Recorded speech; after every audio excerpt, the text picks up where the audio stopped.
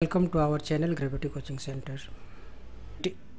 Quantitative Aptitude Chapter Problems on Ages Question number 9 A man is 24 years older than his son. In 2 years his age will be twice the age of his son. So the present age of his son is which one? तो इस question में एक व्यक्ति की जो as है वो अपने सन से 25 ईयर्स ज़्यादा है और इन टू इयर्स दो वर्षों में उनके फादर का एज जो है सन का एज का ट्वाइस हो रहा है। तो हमें सन का प्रेजेंट एज फाइंड करना है। तो सबसे पहले हम प्रेजेंट एज ले लेते हैं। प्रेजेंट एज एज पहले मैन का और उसके सन का।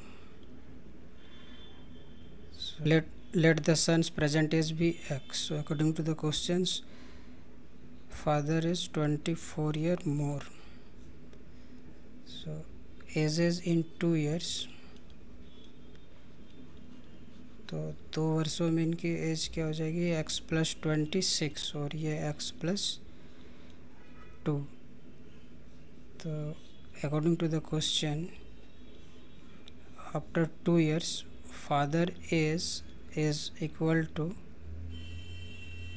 twice the age of sun. So 2x plus 4 so is equal to x minus 2x equal to 4 minus 26 so is equal to minus x is equal to minus 22 so minus minus cancel. So x is equal to 22 years. So option b is the correct answer